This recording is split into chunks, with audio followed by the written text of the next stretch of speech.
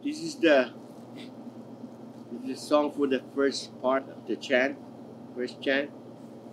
Leo Toki Pasok Colombia Venezuela. Hola niti hola niti peranisi perisi Simke Antaidi Vascolia Silimpo Libya Peru Anapas Barakawa Magdalena Erko Erko Liankara Ukala Makala Takasing Cinco Takasing San Francisco Urki Liokoro To Kamar Wait My name is Sepir Yakana. I'm from a small island in the middle of western Pacific Ocean called Pingelap. Pingelap is part of a bigger state called Pohnpei in the country of the Federated States of Micronesia. I started learning uh, stick dance at the early age of like nine years old.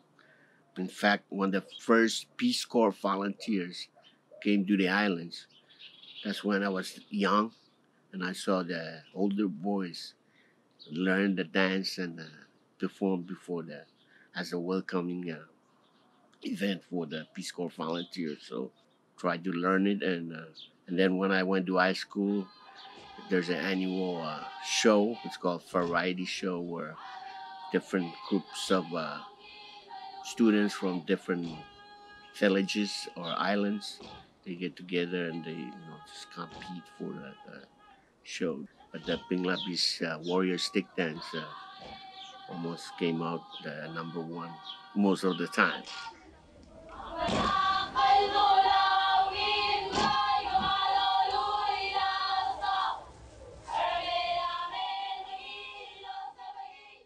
Pingelapese warrior stick dance is originally, you know, way, way back then when the islands was not introduced to the Western world yet.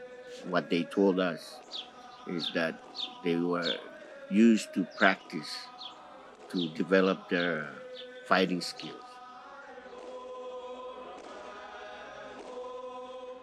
In 1986, the Micronesian Islands became the Compact of Free Association uh, relationship with the United States. But prior to that, after the Second World War, Micronesia was uh, trust territories of the Pacific Islands, which uh, the United States government is the governing uh, identity over these islands after the Second World War.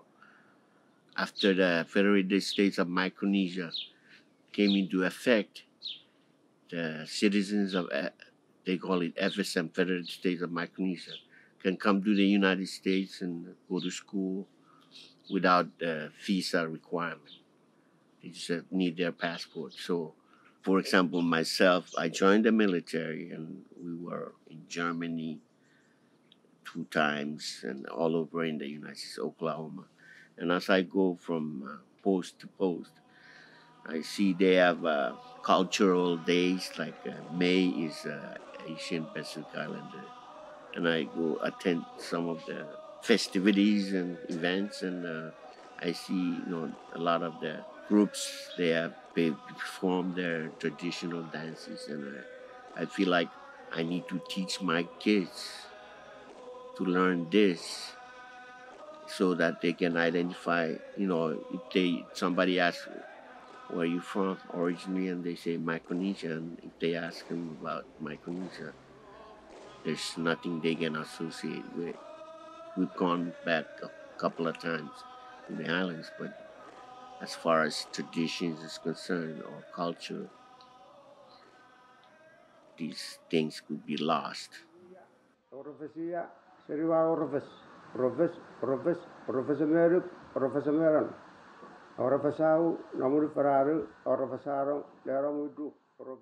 The goal of these videos is to be able to uh, teach Micronesians or the Pingelapese or any group how to perform this dance, the Pingelapese warrior stick dance.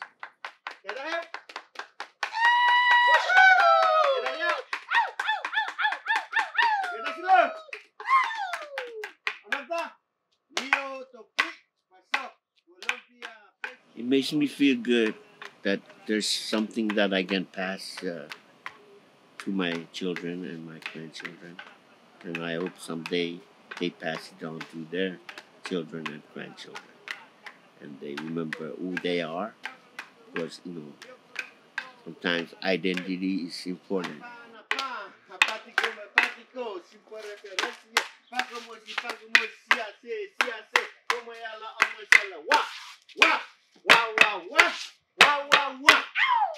practice is going to look better than anything That was like perfect.